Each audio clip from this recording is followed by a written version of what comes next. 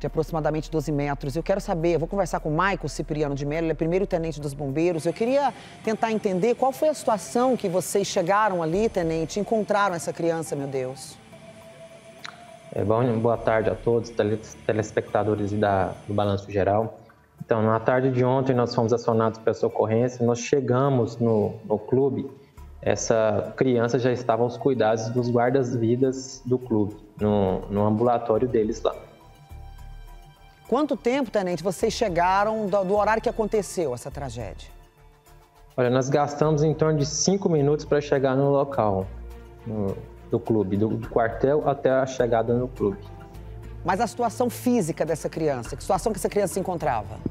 Chegando lá, a gente constatou que era um, uma, a criança estava com politraumatizada, né? e logo de pronto, logo depois da nossa chegada, o SAMU chegou com a uma unidade de suporte avançado. É composta por um médico e um enfermeiro. Então, essa médica ela já assumiu a ocorrência por ter é, mais capacidade de atender essa vítima. A gente apoiou eles na estabilização da vítima para que ela fosse conduzida posteriormente ao, ao pronto atendimento infantil aqui de Caldas Novas. Tenente, diz que ela chegou a ser entubada, né? Sim, sim, no hospital sim já saiu entubada, né? A USA ela tem, ela, ela, ela permite isso, né? É, a viatura é uma UTI móvel. Então, na verdade, a criança acabou sendo transportada de helicóptero. Não, ela, ela iria ser transportada de helicóptero para Goiânia, ser feita a remoção. Porém, chegando no, no aeroporto, ela rebaixou, ela teve uma parada cardiorrespiratória. E aí, devido a essa situação, é, ela teve que retornar para o hospital aqui de Caldas Novas. Ou seja, acabou... a vítima ela acabou... é só transportada se ela estiver estável. Entendi, Tenente. Acabou que ela, infelizmente, não resistiu a essa tragédia. Infelizmente. Eu queria que o senhor explicasse um pouquinho sobre a logística desse toboágua ali nesse clube de Roma. Sim, é, esse clube é o, que tem esse vulcão, ele está com no certificado nosso de conformidade válido, a gente verificou isso hoje. É, a, a vistoria lá foi feita em novembro do ano passado. O, o o SERCOM foi emitido, válido até novembro desse ano. Essa, essa vistoria nossa é feita anualmente. Então, assim, o que nos foi passado, eu não estive no local, a, a guarnição que estava de serviço ontem, eu estava à frente desse serviço, me passou que esse, esse toboágua do vulcão ele estava em obras, estava em manutenção e existia um isolamento.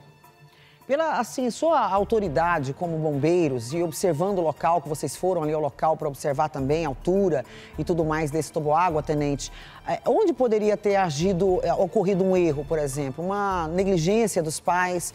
Ah, por mais que a gente fale que uma criança de 8 anos já tem condição de brincar sozinha, realmente esse menino foi ali, né, indo, é, desafiando o próprio perigo. Não tinha ninguém que pudesse estar vigiando, já que é uma obra, um lugar que estava em obra e não podia ninguém subir? Então, Silvia, a gente aqui, a gente trabalha numa cidade turística, né, mundialmente conhecida. A gente sempre recomenda que as pessoas, quando forem frequentar locais públicos, que procurem locais certificados pelo Corpo de Bombeiros. No caso de um clube que tenha um guarda-vidas, né?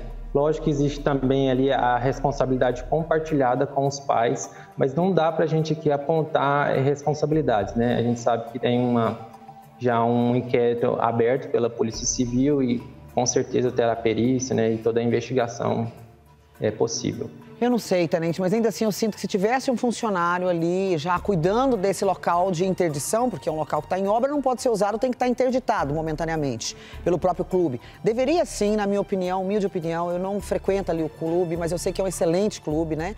Foi uma fatalidade? A gente vai saber porque tem um inquérito policial agora averiguando essas situações. Mas se tivesse um funcionário para falar, opa, menino, não, não, não, não vem aqui, até porque não é a única criança do mundo que possa pisar em Caldas Novas e que vai ter ali a vontade de subir em alguma coisa. A gente sabe que criança é terrível. Criança, quando você descuida um pouquinho, ela é arteira, ela quer fazer as coisas. E ela, porque simplesmente pela inocência de não, não achar que nada vai acontecer, né, Tenente? Com certeza, com certeza. Toda vigilância é válida, né? Criança, a gente descuidou um pouquinho, já, já pode acontecer algum acidente, sim. Qual a recomendação para os pais nesse momento? Porque eu estou falando de uma família que está transportando um corpo de um menino de 8 anos Nesse momento em que eu apresento o programa, lá para Conselheiro Lafayette, que é uma cidade que fica na região metropolitana de Belo Horizonte, em Minas Gerais. Então, é uma família que está despedaçada, é uma família que saiu daquele lugar para vir para cá para se divertir. e está voltando com esse menino no caixão. Então, qual é a orientação profissional aos pais nesse momento? É, a gente sempre fala, como eu já disse, né, procurar locais certificados pelo Corpo de Bombeiros, que tenham o nosso certificado, que tenha guarda-vidas. E realmente é importante também que os pais estejam atentos às atividades ali dentro do, do parque das crianças, acompanhando o mais de perto possível. É, riscos ele, existem em vários locais, principalmente envolvendo, no caso, aí, a altura. Né?